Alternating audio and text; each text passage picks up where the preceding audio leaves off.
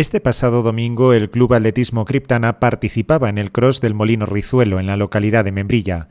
Hasta allí se desplazaron más de 50 atletas en todas las categorías escolares, demostrando la fortaleza del club y consiguiendo excelentes resultados.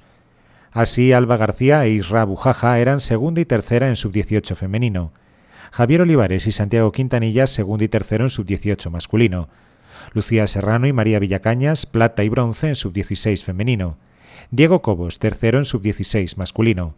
Martina Massa oro en sub-10 femenino e Irene Díaz Parreño bronce en esta misma categoría.